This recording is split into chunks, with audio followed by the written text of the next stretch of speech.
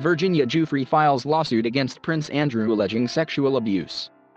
Giuffre, an alleged victim of Jeffrey Epstein, has previously said publicly that she was forced to perform sex acts with Britain's Prince Andrew, telling the BBC in 2019 that she was trafficked by Epstein and forced to have sex with his friends, including the Duke of York, when she was underage. In a November 2019 BBC interview, Prince Andrew said he had never met Giuffre and suggested that a photo of the two of them may have been doctored.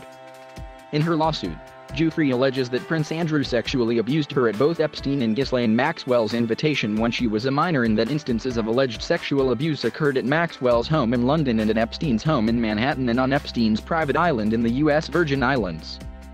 Prince Andrew committed sexual assault and battery upon plaintiff when she was 17 years old. As such, Prince Andrew is responsible for battery and intentional infliction of emotional distress pursuant to New York common law. The damage to plaintiff has been severe and lasting, the lawsuit states.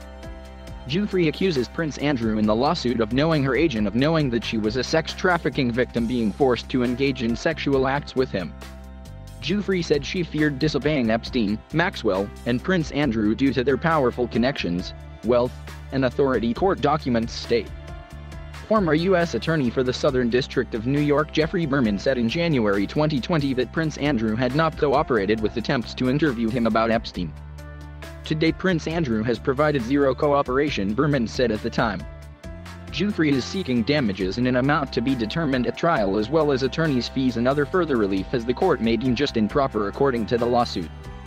Epstein was indicted for sex trafficking of minors and conspiracy to engage in sex trafficking of minors charges in July 2019, which he pleaded not guilty to. He was found dead in his Manhattan Federal Detention Center cell the next month. Maxwell was charged in 2020 for her alleged role in recruiting, grooming, and sexually abusing underage girls as young as 14, and later, with sex trafficking charges. She has pleaded not guilty to all charges.